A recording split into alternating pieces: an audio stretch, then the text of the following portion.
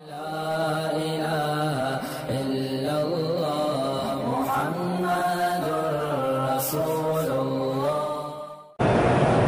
ہیں جی کہ ابھی الرحمان کے کاروبار کے پتہ نہیں کیا دعا کر دیں بے روزگار۔ بھائی بے روزگار ہو تو اللہ نے وعدہ کیا ہوا ہے۔ کہ اللہ کا وعدہ ہے کہ ما من دابت فی الارض الا علی اللہ رزقها زمین پہ کوئی بھی چلنے والی جاندار چیز کے رزق کا ذمہ دار اللہ ہے۔ آپ اتنا مہربانی کریں کہ من یتق اللہ یجعل له مخرجا، جو اللہ سے ڈر کے گناہ چھوڑ دے، اللہ راستے بناتے ہیں وَيَرْزُقْهُ مِنْ حَيْثُ لَا يَحْتَسِبْ اس کو رزق وہاں سے دیتی ہے جہاں سے اس کا گمان ہی نہیں ہوتا۔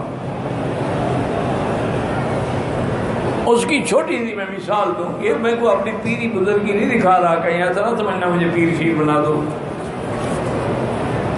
یہ کل کی بات ہے کہ میں گاڑی میں حرم آ رہا تھا تو میرے ساتھی نے کہا کہ حضرت وہ ہمارے علاقے سے آیا ہے، باٹا بھی کہتے ہیں، اس کو سہانجنا بھی کہتے ہیں۔ تو وہ رات آپ کے لیے پکائیں۔ میں نے کہا کہ نہیں، وہ گرم ہوتا ہے، رات کو میرے لیے وہ نہ بنائے اچھا اس کے فوراً بعد میں نے کہا، میں نے کہا، یار، وہ یہ سوانگنا تو پھر بھی مل جاتا ہے کچنال نہیں آتی۔ اچھا یہ دونوں چیزیں جو ہے نا، ہماری اسرائیل کی پٹی ملتان ایریے میں اور کہیں نہیں ہوتی۔ تو اس نے کہا کہ جی انشاءاللہ ابھی دیکھتے ہیں، کوئی بندے ملتان سے آنے والے ہیں تو ان کے دن میں لگائیں گے کہ وہ آپ کے لیے کچنال لے آئیں میں ٹھیک۔ آج اصل کی نماز پڑھ کے میں بیٹھا تو میرے پرانا دوست ہے کہ ساتھ وہ آیا، وہ شاطر پکڑ میں کہ یہ کیا؟ کہتے جی کچنال لایا ہوں آپ کے لیے۔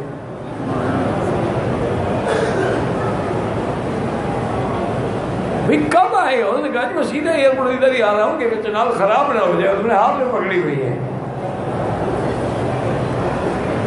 تو اللہ اس طرح دیتے ہیں حالانکہ میں نے الحمدللہ نہ مانگی نہ میں نے اس کو کہا ہے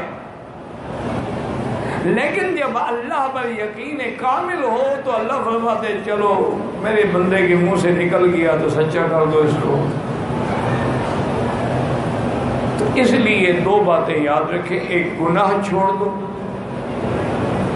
جب تک گناہوں میں رہو گے، کبھی نہ اطمینان قلب ہوگا، نہ رزق حلال ہوگا۔ اور ہمیشہ دیکھو نا، آگ ہو، آگ پر پیٹرول ڈالو، آگ بڑھے گی، کم تو نہیں ہوگی نا۔ یہ آپ کا جو حسینوں سے عشق بازی ہے نا، اس سے آگ بڑھتی ہے، ٹھنڈی نہیں ہوتی۔ پیشاب سے کبھی کپڑا نہیں دھویا جاتا۔ آپ توبہ کریں، گناہ چھوڑ دیں۔ اور استغفر اللہ الذي لا الہ الا هو الحی القیوم واتوب الیہ۔ یہ دو ہزار دفعہ روزانہ پڑھیں۔ ہر نماز کے بعد دو تسبیح پڑھ لیں۔ مشکل کیا ہے؟ انشاءاللہ آپ دیکھیں گے، آپ حیران ہو جائیں گے کہ رزق کہاں سے آئے اسی طرح ایک صحابی فرماتے ہیں کہ میں بڑا ہی اداس تھا، غمگین تھا، پریشان بیٹھا تھا کہ حضور پاک تشریف لائے۔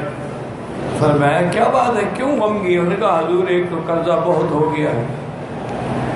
اور وسائل رزق بھی نہیں رہے ہیں کہ میں کب آ کے قرض ادا کروں۔ آپ نے فرمایا، اللہ کے بندے، یہ کیا مشکل ہے؟ میں تمہیں ایک دعا بتلاتا ہوں پر اس کو یاد کر لو اللہم انی اعوذ بک من الہم والحزن واعوذ بک من العجز والکسل واعوذ بک من الجبن والبخل واعوذ بک من غلبۃ الدین وقہر الرجال اور میں تین دفعہ صبح، تین دفعہ شام کو پڑھ لیا کرو۔ صحابی کہتے ہیں، میں چند دن پڑھا تو سارے ہم، غم، قرضے، سب کچھ ختم، اتنی دولت آنے لگی، میں حیران ہو گیا۔ صرف یہ دعا، تین دفعہ صبح، تین دفعہ شام۔ مشکل کیا ہے؟ ایک اور صحابی نے شکایت کی۔ تو انہوں نے کہا، حضور، میرا کاروبار تباہ اور جو کاروبار کرتا ہوں، برکت نہیں ہوتی۔ ہر گھر میں کوئی مشکل بات نہیں ہے۔ جب بھی تم دکان کھولو، دکان میں جاؤ یا گھر میں جاؤ یا کمرہ، گھر کے کمرے کو کھولو، تو بسم اللہ وسلات وسلام علی رسول اللہ صلی اللہ علیہ وسلم اور کل اللہ، آتی ہے صورت ایک دفعہ پڑھ لیا کرو۔ اب کیا مشکل ہے؟ جی آپ نے دکان تو کھولنا ہے۔ نا گھر جاؤ گے، کمرہ بھی تو آخر کھولو گے، بیڈ روم کھولو گے، ڈرائنگ روم کھولو گے، کہیں بیٹھو گے، ایک دفعہ صورت اخلاص پڑھنے کی کیا مشکل ہے؟ وہ صلاح السلام تو حضور پہ ہر مسلمان کل دروشی پڑھتا ہے۔ اس نے کہا جی اللہ نے میرے رزق میں ایسے برکتیں ڈالی کہ میں مٹی کو ہاتھ لگاتا تھا اور سونا بن جاتا بھائی رزق تو مل سکتا ہے، لیکن تم نہ لینا چاہو تو تمہاری مرضی۔ تم کہتے ہو کہ میں عقل سے کماؤں، انما اوتیتہ علی علم عندی تو قارون نے کہا تھا۔ نتیجہ کیا نکلا؟ فخسفنا به وبداره الارض۔ اللہ نے فرمایا، اس کو بھی، اس کی جائیداد کو بھی زمین زمین میں دھسا دو۔ حضور نے فرمایا، یہ جل جل بها الى یوم القیامہ، ایسے دھسا جائے گا قیامت تک زمین۔ وہ کہتا تھا، میرے پاس علم ہے، میں نے ایسے دولت کمائی، خدا نے مجھے تھوڑی دی۔